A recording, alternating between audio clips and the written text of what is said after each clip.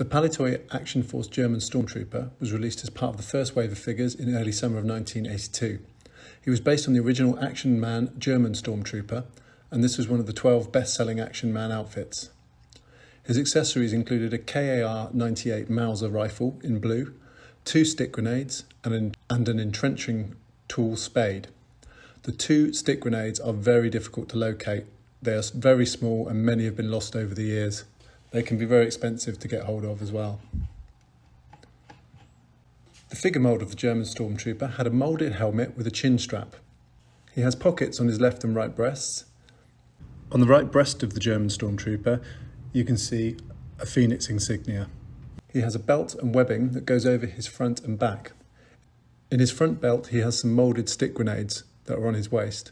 On his lower back, he has a moulded case and a water bottle. There were different versions of the German Stormtrooper. Version 1 had a shield and phoenix insignia on the sides of the helmet. The shield was on the right and the phoenix was on the left. He also had a grey chin strap. Version 2 had no helmet insignias, and this is the one on the video, but also had the grey chin strap. Version 3 had no helmet insignias and had a black chin strap.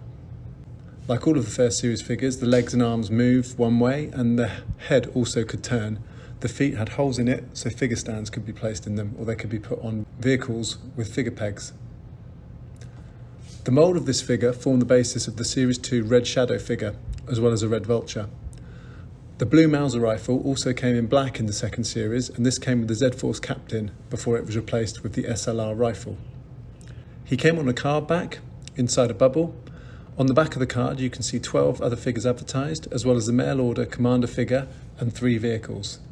You could collect five medals from all the figure card backs, post them off to Palitoy with some money for post, and then you'd get the commander figure sent back to you.